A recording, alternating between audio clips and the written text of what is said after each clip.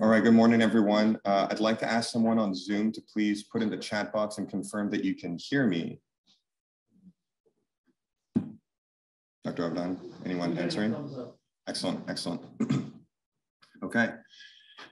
Well, good morning and welcome back to our hybrid grand rounds at the Department of Anesthesia at Washington University. It's great to see everyone back um, in person. Uh, we do have um, coffee as well as breakfast burritos served at the Wohl Auditorium. If you're nearby, you can feel free to stop by and come see us uh, in person and get back into this tradition. Uh, in the interest of time, I'm going to start introducing our speakers. Uh, as a reminder, if you are uh, attending via Zoom, please put your questions in the chat box and we will provide them to the speakers at the end of the talk. Uh, and then likewise, if you are attending in person, if you have questions, I will bring a microphone to you so that our Zoom participants can also hear your question and the speakers will speak into the microphone so that everyone is hybrid today. So we have three wonderful speakers today and uh, they are going to collaborate on this grand rounds. I'm going to introduce them in the order in which they are going to be presenting. First, we have Dr. Scott Markowitz. Dr. Markowitz uh, got his MD from WashU, followed by residency in anesthesiology at UT Southwestern. This was followed by fellowships in pediatric anesthesiology as well as pediatric cardiac anesthesiology at CHOP. He's currently the Vice Chair for Professional Development and DEI in the Department of Anesthesiology at Washington University. Enyo Ablordeppey, Dr. Enyo Ablordeppey got her MD and her MPH at the University of Pittsburgh. She followed this with residency in emergency medicine at WashU, and then fellowships in critical care and emergency ultrasound also at WashU. She's currently an associate professor in our department, as well as a Department of Emergency Medicine. She also serves as the associate vice chair for DEI and the co-director of the 7800 ICU. And last but not least, we have Erin Herrera. So Erin got her uh, BS in nursing and MS in nurse anesthesia from the Goldfarb School of Nursing at Barnes-Jewish. She's currently a CRNA in our department, as well as Associate Vice Chair for Wellbeing and Assistant Director for CRNA activities in our department. So thank you for joining us again today, whether you're in person or on Zoom, and please join me in welcoming Drs. Markowitz, Dr. Ablordeppey, and Ms. Herrera to the Washington University Department of Anesthesiology Grand Rounds.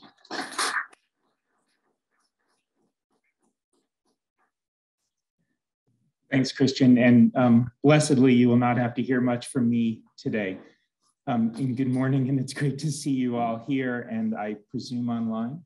And um, I hope you're starting off your day feeling wonderful. Um, as the Vice Chair for Professional Development, Diversity, Equity, Inclusion, and Well-being, I'm pleased to be introducing other senior leaders um, supporting our faculty and staff in these key areas.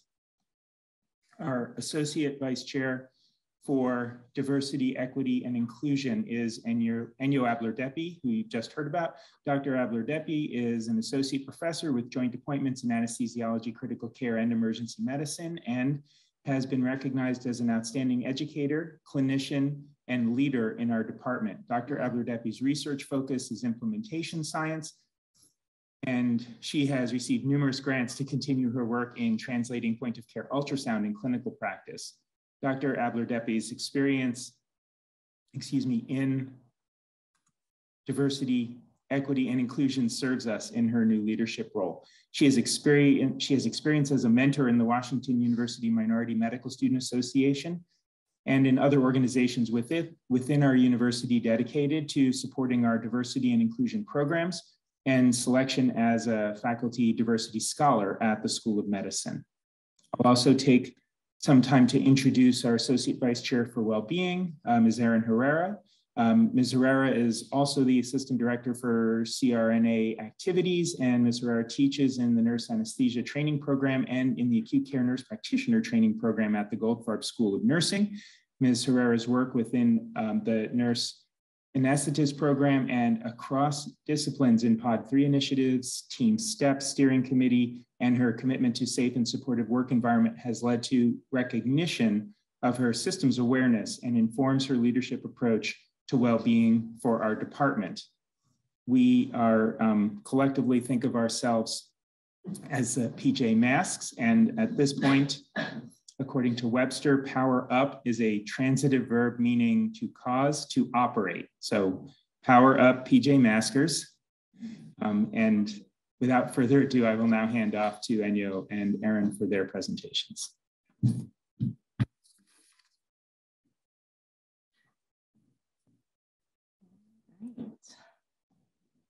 Are you guys able to hear me okay? Right. Hi, good morning. Um, I think I know a lot of you, but for those of you who um, I haven't had the chance to meet before, my name is Erin. Um, so I wanted to start off my talk today by telling you a little bit about uh, just a quick story about myself and how I got to, to where I am. So, um, so when I was finishing up my final semester of college, um, my 30 year old cousin um, died very suddenly of a massive MI. And then two weeks later, his father, my uncle, also died of a massive MI. And so my whole family was just kind of in chaos, and everyone began getting cardiac workups. And so, sure enough, um, the following week, we found out that my father also had a 99% occlusion of his left main coronary artery. Um, so, he also came here um, to Barnes to get his um, cardiac surgery. So, we, we chose Dr. Pasque to do his um, CABG. And it's funny, I remember from the most vivid memory I have of the whole experience is I remember coming up that escalator and seeing this view. And I remember thinking to myself, wow, this is like this spaceship view. This is like the big, exciting hospital that, that's going to fix my family, that's going to fix the trajectory of how things are going. So um, thankfully, my father's surgery went great. Um, he's 17 years out here um, from his CABG and doing great. Nobody do the math on that because you're going to figure out how old I am. Um, but anyway, as as I you know came through the surgery, I realized what was so great and so impactful about what happened wasn't only that my father had the chance to have his life saved by the surgery, but what was so amazing was all these people that I began getting in contact with while I was here at the hospital. So everyone was just so knowledgeable and so compassionate. And I decided while he was in the hospital that I that I want to be a nurse. I think this is what I want to do with my life. So um, I went back to Mizzou and I finished my degree. And um, after I finished up college, I called up the hospital and I said, okay, I want you to find me the hardest job you have at that hospital. And if I still want to be a nurse in a year, then, then I'm going to go for it. So they said, Oh my gosh, do we have the job for you? We have a job in night shift in the post ICU rehab unit. And so I took that job in the PICU and I basically suctioned trachs and gave bed baths all night long for a year. Um, but at the end of the year, I still really loved it. So I decided to commit to going to nursing school so all through my time as a tech, the, the, fellows would work with me and they knew I had interest in this. And people would go over chest x-rays and they would show me medical stuff. And it was, it was incredible and it was so impactful. And so I went to nursing school here all through school. I was a tech. Um, when I finished, I finally got hired in the CTICU and I was doing what I wanted to do and I was helping people through cardiac surgery. Um, and there, again, I was surrounded by people um, who were mentoring me and teaching me and having these amazing relationships with me.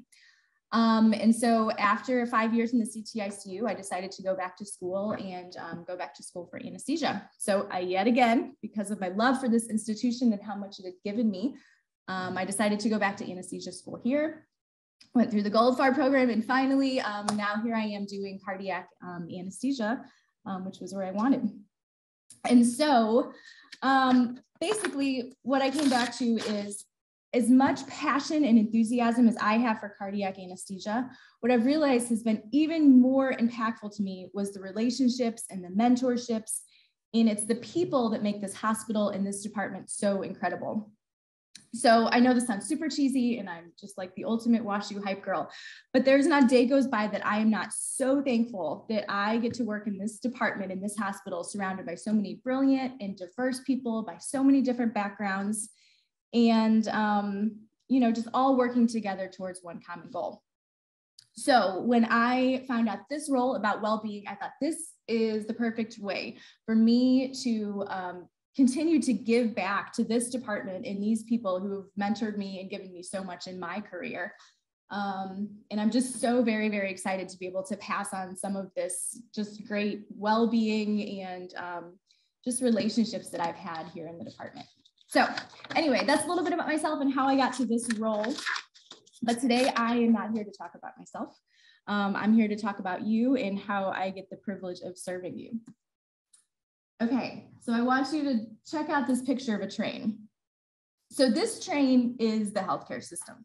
And when I say healthcare system, I don't mean just BJC or I don't mean just WashU, I mean the healthcare system in general. And we are all on this train. And this train has gotten bigger and faster and more complex. And our patients are sicker, and our surgeries are more complex, and our hospitals are bigger. And it just keeps growing and advancing. And then this is a picture of the train currently. The train is still going, but it is hmm. packed full of COVID patients and it is just fully on fire barreling down the track. And we are on that train and we are burned up and we are burned out.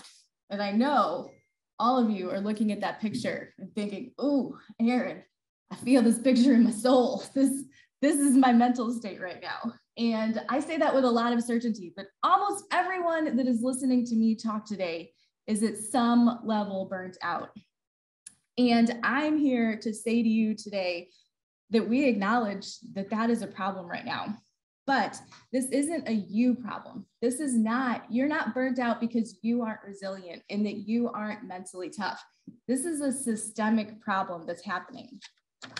So our healthcare systems for so long have been barreling on and on and on. And we've been so focused on our patients and giving excellent care and doing all these amazing surgeries but somewhere along the line, we've forgotten that we need to take care of the people that are taking care of the people. We need to be taking care of each other and we need to be taking care of the people that work in the hospitals and not just the patients. So this is where I come in now. So as much as I would love to jump in front of this train and say, stop, this is not a sustainable system. You are burning people out. We need to stop this train. This train isn't working anymore. We all know how physics works, and I can't just stop a barreling freight train because I would probably be run over and squished, and then we would be down one more anesthesia provider. And Lord knows we do not need to be down one more anesthesia provider. But my job as wellness person is to work to slow this train down, to build new tracks, and to put the fire out, to make this train and this whole system a more sustainable entity for all of us. So, however, making a new track for the system is a lot of work. It is by no means fast work. Um, and it's going to take some work and engagement from all of us. Um, but that's that's where we're going to start with building this new track. So new track looks like a lot of different things.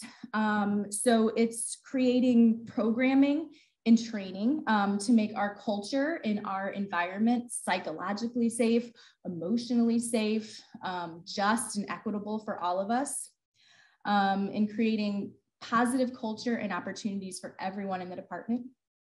Um, it's finding work-life balance and making sure our department's incredible reach and incredible depth can work for you to make this job something that's sustainable for all of us.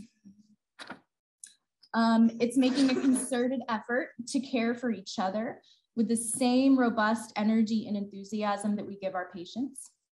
Um, it's engaging with myself and with other leadership to make sure that the needs of your division are heard and your successes are shared widely.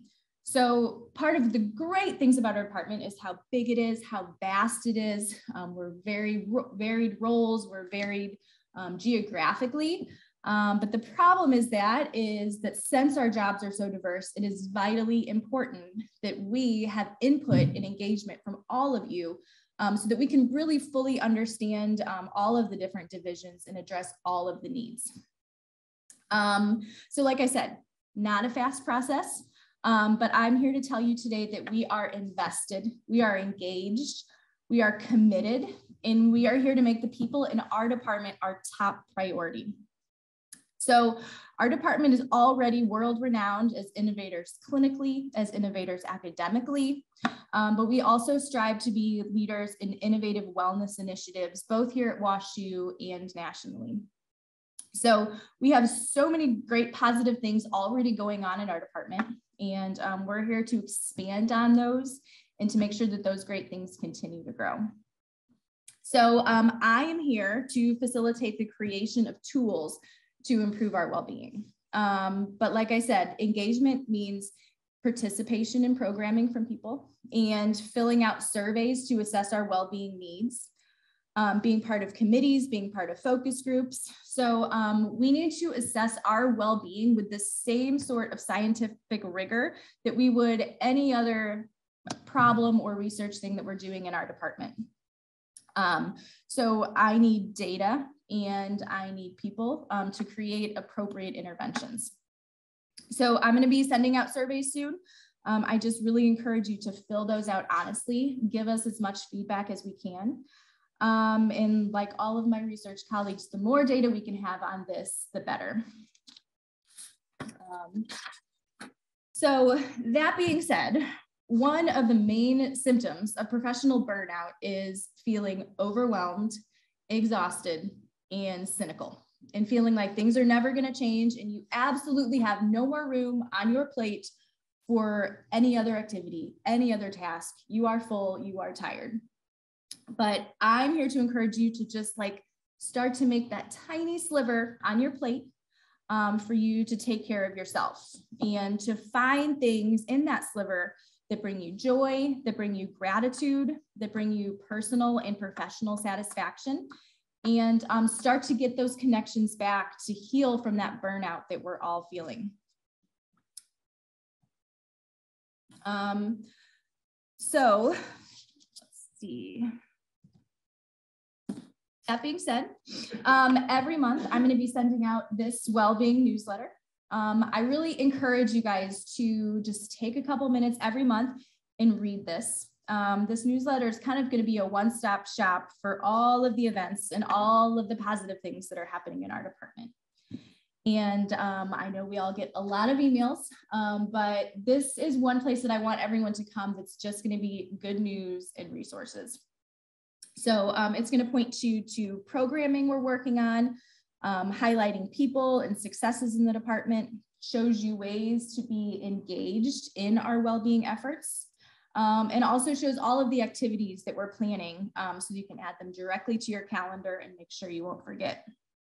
So one of the really great parts of being part of this whole big system here at BJC and at WashU is that there is so very much programming out there and there's a lot of divisions all doing their own things um, and it gets a little bit overwhelming. So we are working along with um, Patrick Yersick and Kelsey Ahrens, who are just our spectacular marketing team. Um, we, we want you to think of almost us like a concierge well-being service. So this is a good place for you to come to kind of find all of those thousand emails in your inbox to be um, sifted down and collated to stuff that's relevant for us um, so that when you need help with your mental health or you need help finding some programming to help you professionally, um, that we have it in an easy and concise way for you to find it. Um, we are doing our very, very best to publicize our events and programmings. Um, but like I said before, with a thousand emails, we understand that it is very easy for stuff to get lost in your inbox. Um, so we are trying to find lots of ways to engage everyone, thinking of new and innovative ways um, to get through with you guys. Um, but like I like I said before, I some of this takes effort from you as well to make sure that you are also committed to the engagement of working on this, working on our culture, into buying into these well-being initiatives. Um, I was I was just reading an article this morning actually when I was coming here, and I was talking about how so many so many companies now are, are going all in on the well-being and to a lot of them that means stuffs like we provide excellent snacks and and we have um, you know great plants and beautiful facilities but it what comes down to at the end of the day is all of that stuff doesn't fix the problem. It doesn't fix the work environment. What fixed the problem of burnout and well-being in the pro- in a department is two things, and that is culture and people. You have to have buy-in from everyone. It does not matter how many spectacular snacks and beautiful things I have in the break room. It's all of us coming together to make a concerted effort that we're heading in the right direction for this. So um, while we get more of our programming up and running, um, I've kind of kicked off my well-being initiatives with some very low-hanging fruit, and um, that is working to find a way to get back to those vital social connections that we have not had for two plus years now. Um, it is so important that we have peer support and we have a robust network of friends and colleagues to lean on when things are bad, but also to celebrate with when things are great. Um, so I encourage you guys to come to events. I, I, know it's been two years since you've had to work on small talk and smiling without your mask on, but I promise you can get back to that and work on being around people again. Um, so I've organized a variety of well-being centric social activities for you. Um, and it's a way for you to meet and reconnect with people in this department. And I know on the surface that some of this stuff just seems like I'm trying to organize a social club, but I promise you that there is science behind all of this and um, the importance of connection and being outdoors and movement. All of this plays into the mental health and culture of our department. So here was our wellness walk this past weekend. We had about 40 people out at the Shaw Nature Reserve. It was spectacular. The last two have also been lovely, but it was about 10 degrees. And so admittedly, our crowds were a little bit smaller for those. Um, but we look forward to doing these wellness walks um, at least once a month, just to get us together, to get us outdoors, to, to connect and talk about things that aren't always about work and just get to know each other on another level. Um, so as I finish up my talk today, I want you to think about if there's any activities that you would love to do that would get you out of the house, that would help you connect with your colleagues, please feel free to add that to the chat. Um, find me later, email me later. Um, I would love to, to get more of you engaged to see what would um, energize you to spend more time with us on the department.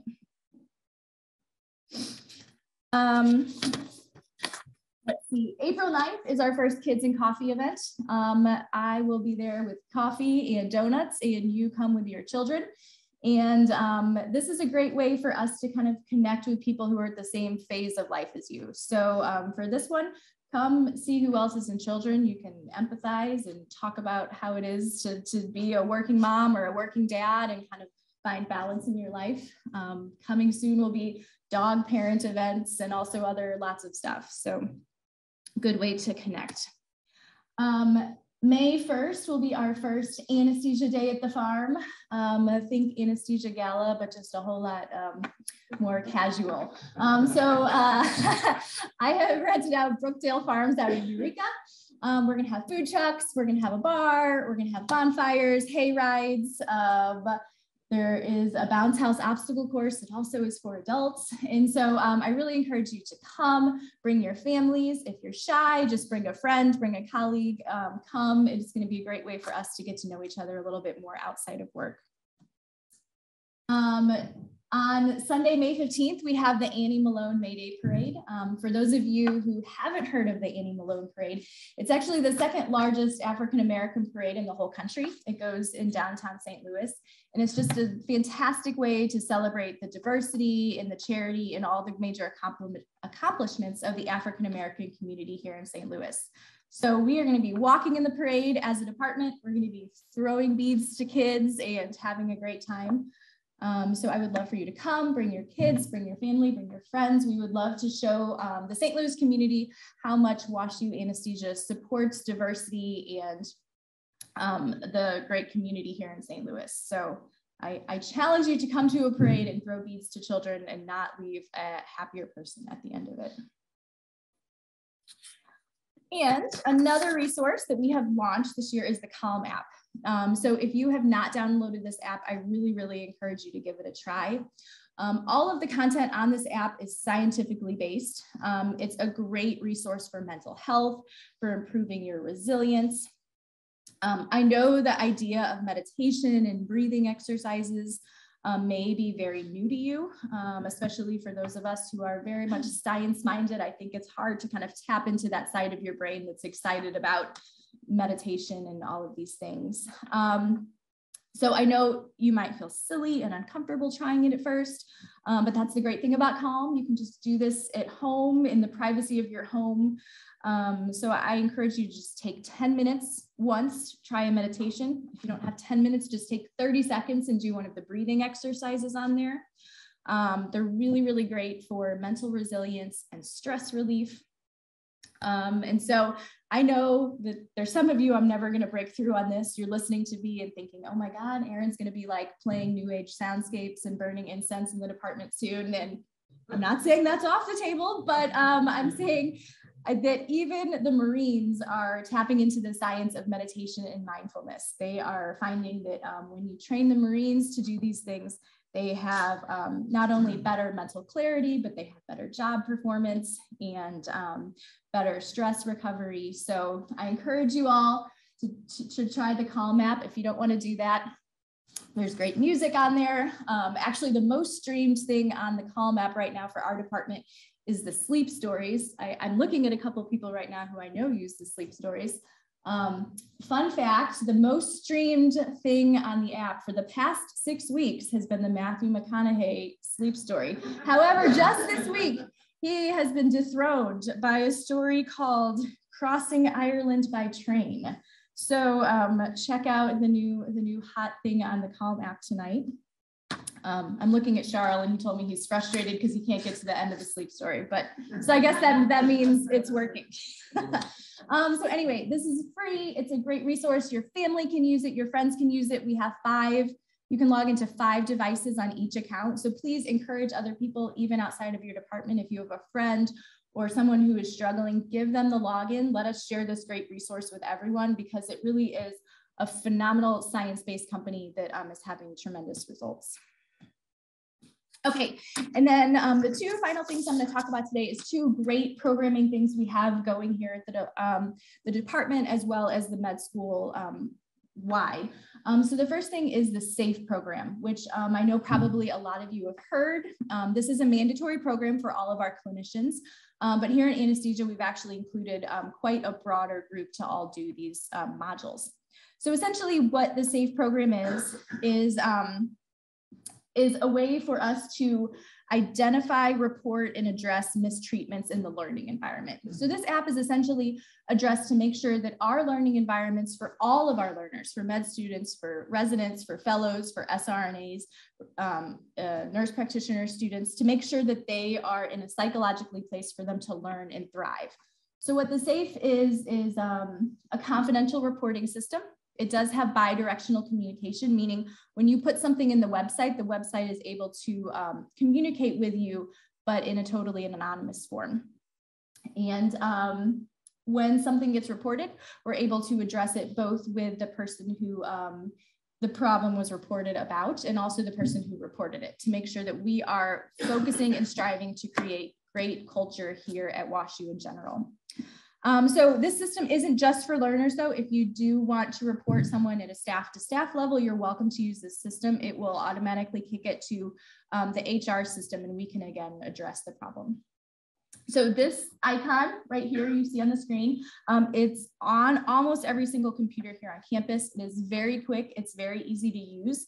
Um, and it also accepts accolades. So um, you are also more than welcome to put in positive, great things that you are seeing um, on campus so that we can celebrate um, the successes that we're having with these programs. So we will be providing some in-person training coming soon, hopefully in grand rounds. So um, please keep your eyes open for this. The modules are quick, but they're excellent. They're impactful. They talk a lot about um, identifying microaggressions and identifying other mistreatments that, um, that you may not even be familiar with. So I encourage you to do those modules um, and look more into the SAFE program. And finally, um, I'd like to talk about PSAFE. So PSAFE is our partner program to augment and to build upon the SAFE program that's already out there. So um, like we talked about before, the SAFE program is really um, initially targeted towards our learners, um, but we're really looking at PSAFE as culture in general for all of us. And um, this is gonna provide training to provide even more support to colleagues, especially support right in the moment. So we'll be providing upstander, bystander training, um, practice and learning ways to intervene safely and appropriately when negative interactions are occurring. Um, we're focusing on listening skills, peer coaching, and navigating difficult conversations. So what we're doing here in anesthesia is we are really striving to get out front and identify ourselves as leaders, as innovators um, here on campus, leading these cultural changes. Um, and we want the anesthesia department to really be viewed as a beacon of positive culture and culture that other divisions want to model themselves on. So if you would like to join and be a PSAFE champion, um, you're still more than welcome to join our cohort. Um, we haven't started the training yet. We've just been doing some kind of um, Zoom sessions to, to gather information. So we'll be kicking this off soon um, to hopefully, like I said before, the first way to change the culture and the burnout and the mentality is always to start with the people and the culture. So this is a way for us to learn how to better support you on a day-to-day basis to make this place somewhere where you feel safe and ready to thrive. So um, I will end here by saying, like I need before, I would love your engagement um, here with the well-being efforts. We have a lot of ways to get involved. Um, that includes being a champion for your division, which is telling us in leadership ways that we can help you to make your division more healthy, more robust, more safe. Um, you can join my PSAFE team. Um, we're looking to form a well-being committee. Um, we'll be having focus groups and surveys. And if nothing else, if you just have a great idea and want to tell me, I am happy to, to run with it. And um, I would just appreciate any input. So anyway, I could talk for hours and hours and hours about this, um, but I will wrap it up because Dr. Ablordeppey is here to talk about um, diversity. Um, we'll be answering questions at the end. If there's anything I can answer for you, please let me know. Um, if there's ever a way that I can help you personally, please let me know. Um, I always have my phone, my office door is open. I'm here a lot, so just, just come find me. I'm happy to talk to you. Um, so thanks for giving me the opportunity to talk to you about this stuff today. I'm very excited to get all of this stuff going. I know that our department's great and I'm just so excited to um, finally be able to be involved and show the department and the, the university as a whole um, how great our anesthesia department is.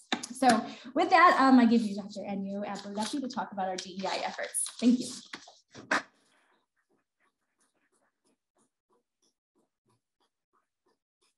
Thank you, PJ Masker. Um, so I have a two-year-old. Lots of my analogies come from Disney. That's really all I watch now. Um, I also watch a lot of HGTV and uh, a couple of other things. So that's what I thought of when the job opportunity came, that we're a trio, we're a team, we're gonna work together and we're really, really excited. And you'll see, hopefully feel that passion between us and a lot of the cross um, work that is required to do the job.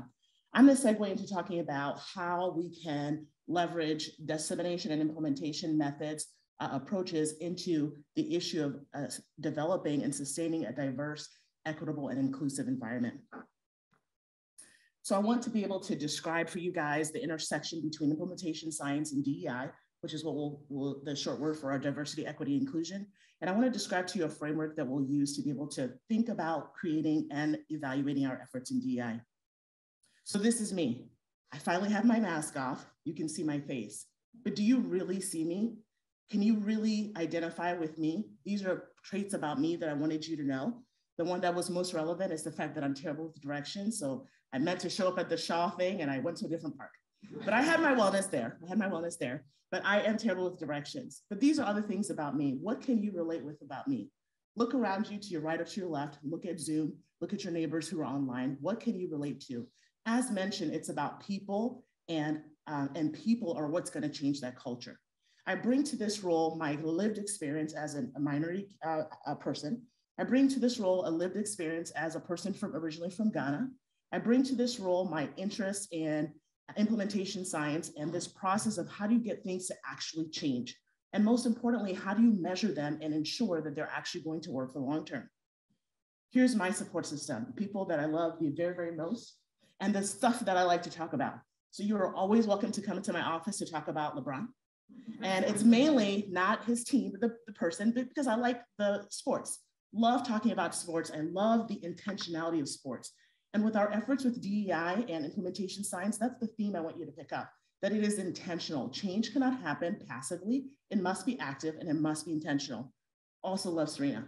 We'll see if she plays it sometime soon. And I don't know if anybody heard, but Ash Barty just retired. Big blow. Do you guys know who she is?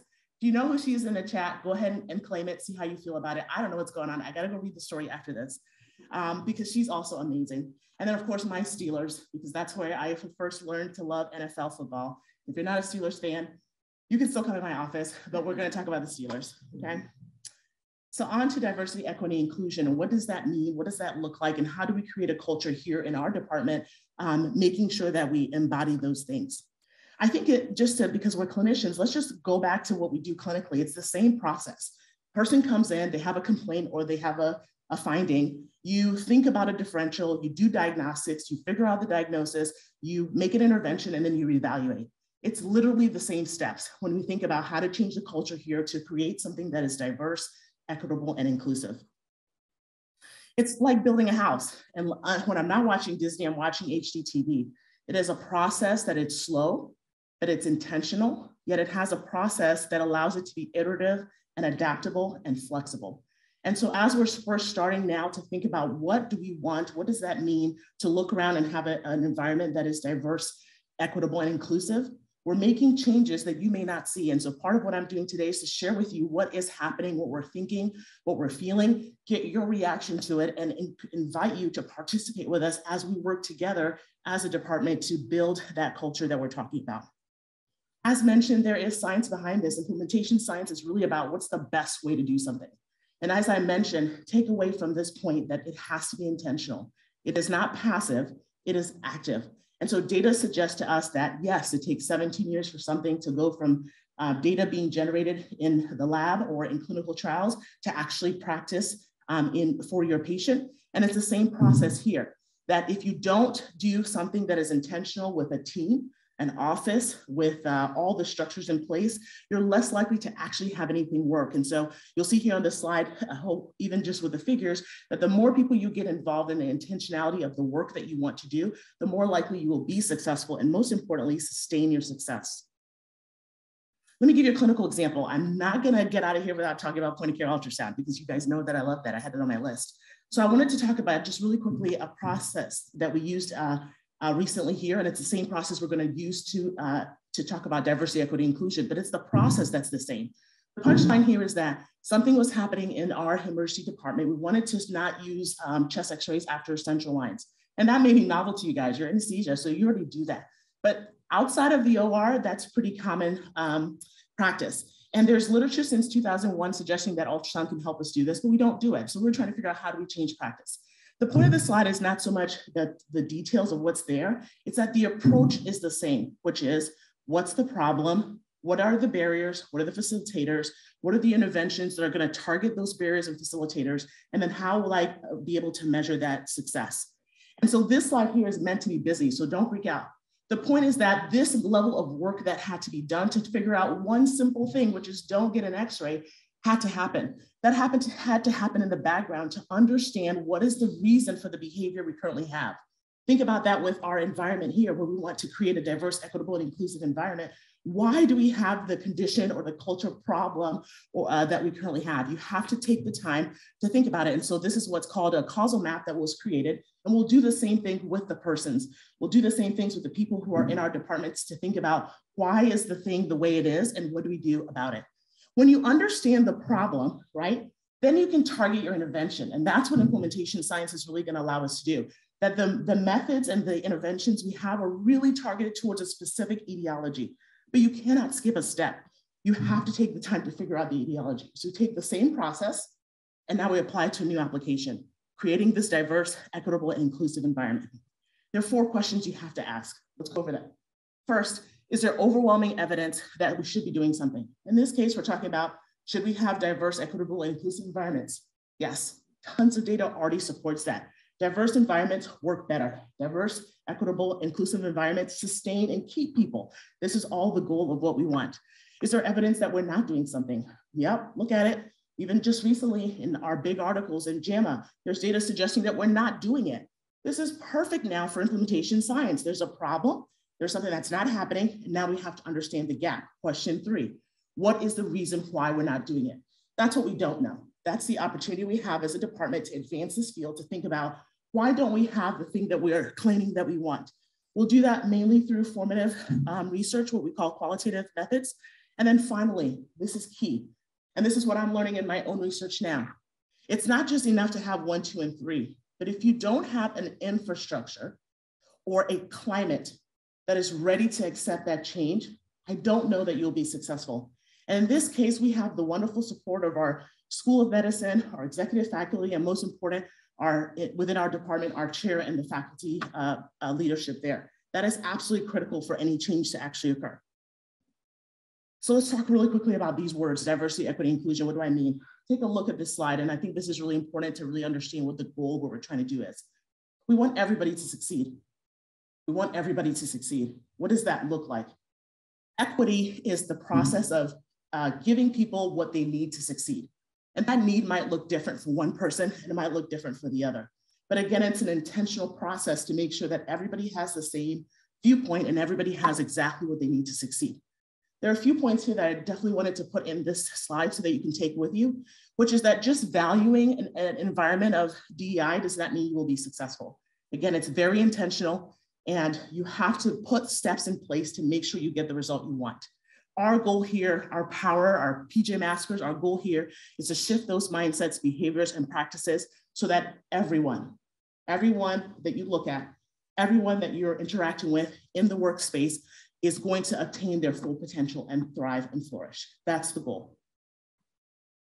I want to share with you that for inclusion, there's a lot of science behind this. And the purpose of this slide is not to look at everything that's there. The purpose of this slide is to say that we have to know what inclusion means and think to yourself, what does it mean to feel included when I'm at work, when I'm in the OR, when I'm in the lab, when I'm in the ICU, when I'm outside? What does it mean to feel included? It's an important aspect and not feeling included makes people unhappy, makes people feel burnt out, it makes people not flourish in that environment, which is the opposite of our goal. It's affected by a feeling of feeling valued and fit. And the point here is that there are a lot of attributes that go into that feeling of um, perceiving that you are um, included at work. And there are a ton of outcomes that can be measured. And look at that. One of them is wellness. So you see this PJ Maskers thing, it's real. It's a trio that does go together. You can't really talk about DI too much without also talking about the wellness because of that aspect. The science implementation or implementation science is, is nice because there's history behind it and it's only now coming into the medical field. It's been done in um, uh, psychology, in mental health, um, all kinds of outpatient places are, are using these approaches. And the point I wanted to share with you here is that there are these things called frameworks. You're not going to read an implementation science paper and not hear the word framework. What's a framework? It's a blueprint. It's a way for you to think and organize your thoughts about what you're going to do. And so there are a ton of frameworks. And so one of the frameworks we're going to use in our department for DEI specifically is what's called a process framework. Now, I'm a simple minded person. You saw my list, I'm pretty left brained. And so I don't like frameworks that got like a lot of circles and things like that. It confuses me. I really need sequence. Step one, step two, step three, step four. That's, that's what works best for me. And so we're going to use something called the intervention mapping framework, which has got six steps. And look at them, not rocket science. Think about the problem, come up with a causal map, design a program with objectives, do the program, produce it, implement it, assess it, reevaluate over and over again. That is what I'm being uh, challenged to do. That's what I would like your participation with. Now, visually, for those who prefer, this is what we're doing here at WashU within the Department of Anesthesiology. So if you've heard, I'm doing these listening rounds, right? So I'm contacting a few of you and I'm working my way through and I'm listening to you about what your perspective is about DI in our department, challenges that you've experienced, opportunities for improvement, uh, facilitators that you may see so that I can hear on the ground, get a pulse check of what's actually going on. So as you look at this, we're going to do these listening rounds. And when I get to you, I'll get to you. But if you want to say something, email me, find our team, and let's talk about it. There's some survey data that we had from 2019 about the pulse about our department. So we'll be looking at that from a research standpoint, analyzing those quantitative metrics to think about what was going on in 2019, reassess those uh, uh, surveys and look at what's happening now in 2022, and then again create this causal map, which is basically what's the diagnosis? Why do we have the problem that we have? And then we create a program, and you'll see here the sort of egg-shaped thing here is the program that I'm proposing that will think about doing these programmings at the individual level, the department level, at the School of Medicine, STL large, and of course, the entire world, because the PJ Maskers are here to save the day. All right. And then, of course, we'll think about our outcomes. All right. Uh, love mnemonics. Look at that. All right. I have an idea, right? So, how do we do inclusion, diversity, and equity in anesthesiology? Our program is what that's what I'm calling it right now, and we'll focus where we can focus. Our priorities right now are at the individual level, the department level, and aligning with the School of Medicine. So things to be aware of, here's what's coming down the pipeline. So regarding at the individual level, it's about awareness. It's about people like myself and others in our group coming up here talking. It's about giving you opportunity and access to the things that are, are, are, that are already there that we may not see or have time to see, allowing us to really increase our education and our training. Our website, I'll show that in a second. All of your information is on the website regarding um, services and programs that are um, through the department and system-wide. There are a few um, uh, specific things here that I'll talk about. This task force, which I'll solicit your support for, affinity groups, radar, and the Assure program. Um, for the School of Medicine, ODI stands for the Office of Diversity, Equity, and Inclusion, uh, creating these equity champions that you get to be a part of to build networking within the department. And then the School of Medicine is really promoting and going to promote sort of standardization of competencies about understanding systemic racism. And then of course, the community at large about why we're doing all these things at the end of the day, diverse, equitable, inclusive environments provide better care for their patients. So here's our website. You can see it down there for the name. There's a tab there that says diversity, equity, and inclusion. So click that and check that out. I wanna highlight here something that's really important. We talked about that fourth question. You have to have infrastructure and you have to have a climate that's willing to change. Step one, you have uh, a message from our chair saying that this is important and this is valuable. That is absolutely key for, for anything to change because it starts from the top. That messaging starts from the top. Other things on the website here, I want to highlight the Assure program, which is a wonderful program that is second year in its, uh, in its uh, creation, uh, targeting and thinking about how to provide um, uh, support and um, what's a better way to say it, sort of the ability to see what a life or career in science looks like, serving patients or, or students who are here in St. Louis, because after all, we are uh, WashU um, in, in St. Louis. So you can check out the, the link for that on the website. And there's several of our researchers who will be participating in that program and the scholar cohort uh, this coming year. Also, I wanted to highlight the RADAR program, which is a collaboration with the University of Michigan, uh, standing for um, raising anesthesiology, um, diversity, and anti-racism. And I just highlight this because this group and their website are set up so that um, they can be a resource, right? A resource for other institutions who are like, I don't know what to do. I think this is important too, but I don't know the next steps. And so we get to start that. We get to lead that and to participate in that conversation. And that's a really important um, role. And then these pipelines that we're creating, right? So in order to get these diverse, equitable, inclusive environments, you have to get people here.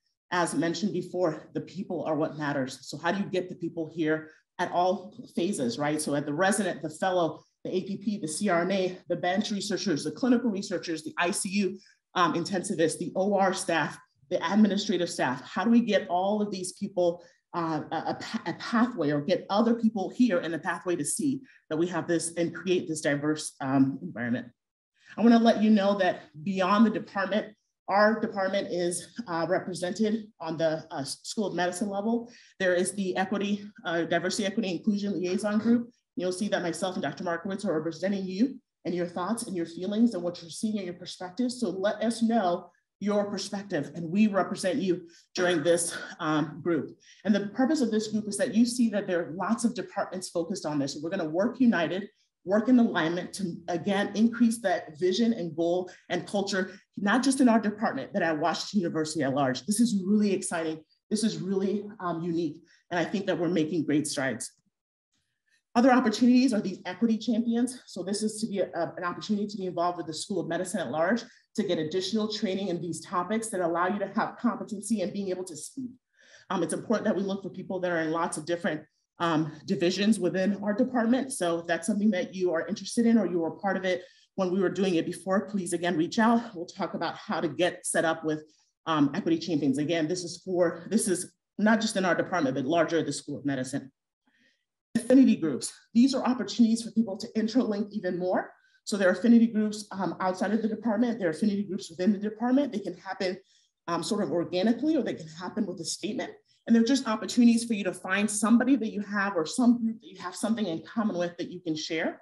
You don't have to have things in common with. It's an opportunity for you to increase and improve your belonging. And this is really key for that sense of belonging. So uh, the other thing I wanted to mention is that the School of Medicine is now invested because of that need for infrastructure and climate that we all have to be on the same page. And so the purpose of these next two slides is to share with you what the School of Medicine is doing to make sure that we have an even playing field, because if we don't, we're not gonna win this battle. We're not gonna be able to fix this problem. which is that we're starting to make sure that we all understand the same words. You guys are all clinicians now, right? You're in the OR. If you say some word, everybody knows what that is, right? I say propofol. You know what that is? If I go out to the street I say, well, maybe propofol is not a good example with the whole thing, but I'll pick another word, right? right? The point is that there are these jargon and these words that you know because you deal with it every day, you see every day. And the purpose of these modules through the um, ODI or the Office of Diversity, Equity, and Inclusion is to get us understanding these concepts that are prevalent in our department and in our university. So talking about DEI in terms of awareness, understanding biases and systemic racism, committing to a change. Remember, it is intentional. And then again, action, doing something to improve that so that we can have a culture that we're all very proud of. More to come on this, which is again, that understanding systemic racism platform that is still in works and not quite ready. But the point here is that our medical students are learning this now. Our medical students are being taught these concepts, are being able to recognize when they see an implicit bias or microaggression, and they want to have that, and it's important that they have that um, that, that, there's good continuity of, of uh, reflection and action. So they can't be learning something that we're supposed to be doing and then show up in the clinical space and we're not doing that.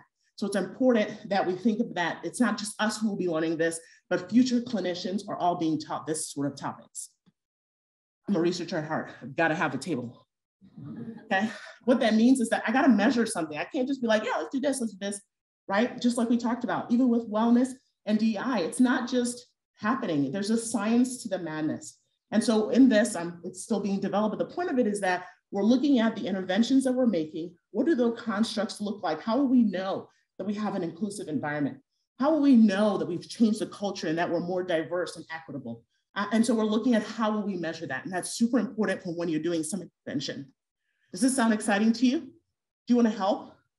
Join the IDEA task force. Email me, text me, find me when you see me wandering around the, the hospital because I'm lost somewhere and get a chance to participate. I have to hear from you. We have to hear from you because your perspective is so important and so valued.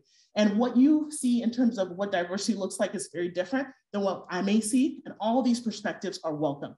So join this task force. If you were a part of it before, email me. You're, you're welcome back uh, because we don't want to lose ground on that.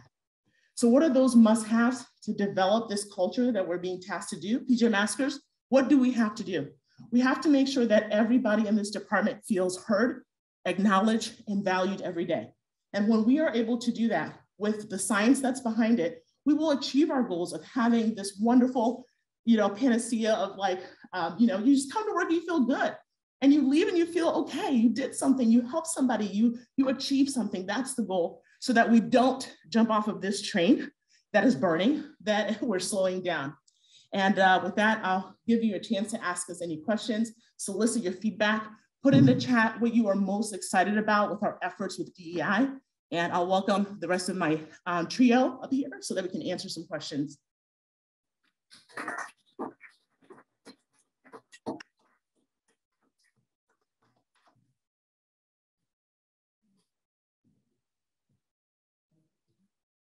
I'm looking at the chat right now. We'll wait there. Anyone who has any questions here, write them down. Otherwise, I can get started. Well, thank you for a great presentation and uh, the first presentation. Um, one of the uh, bits that really got my attention about a decades was thinking about this like a clinical problem and starting with the diagnosis. Um, and I agree. I think that there's been a under acknowledgement across health systems and really systems in general that there is a problem of diversity, equity, and inclusion. And I was wondering if in your research and you know, looking into this, if you found like a model of health, uh, like a, a, specific department or a school or an organization where they don't have this problem that we can look to, like, okay, that's what a healthy DEI system looks like. Uh, thank you for the question. My first reaction, honestly, was if you see it, then they're not telling you the they're not telling you the truth, right? It's like uh, I don't know. It's like uh, think of things we all do every day that we don't like to talk about. I mean, everybody has this problem. It's it's because if, you think about it, the, the goal of what you're trying to do is very different than how your mind has been programmed for the last million eons of years, right? You're, you're, you've been trained to go like this, and now we're going like this right? Because that's what we have to do to be able to open the field and welcome everybody to the table. But I do think that there are some institutions that have a playbook or have uh, data suggesting that this works, but I don't know that there's any place I can point to to be like, aha, that's what we're trying to aspire to. I think that that can be technically dangerous because every place is different. The, the problems are different in every place. So I think what, what the goal here is, like sports, you want to be better than you, you what, than how you were yesterday or how you were 10 years ago or how you were two years ago. The goal is that every year we should look around and see if we feel that the culture has improved. You'll be able to tell. I'll be able to tell. And I, and I think that's the, um, the model, I think that the, the approach that we're taking.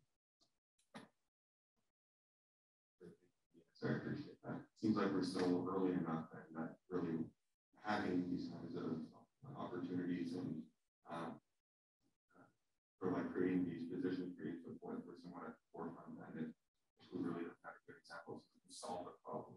Yeah, I don't think we have to solve the problem, but I feel very strongly that our department is definitely at the head front because we're thinking about this from a scientific lens. And I think that that allows us to be much more intentional, direct, and have outcomes that are measured and say, aha, WashU is the place, they've got it right.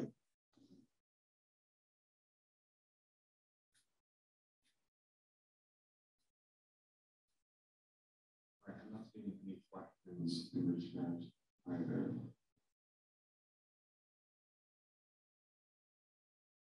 there are no additional questions, I'll invite everyone to send anything to uh, our presenters. Um, you have all their emails, obviously, and their contact information in our app thank you again for, for joining us today. I really appreciate it. This was the best turnout that we've had in a long time, and it's so nice to see everyone again. So thank you for kicking us off.